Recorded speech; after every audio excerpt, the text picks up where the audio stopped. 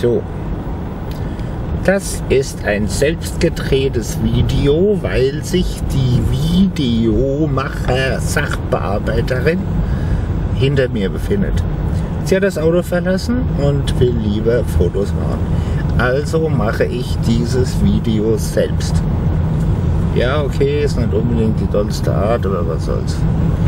Ähm, muss mal gucken, ob ich irgendwo halten kann. Okay, wow.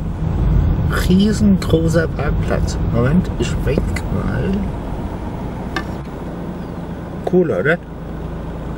Ende Video.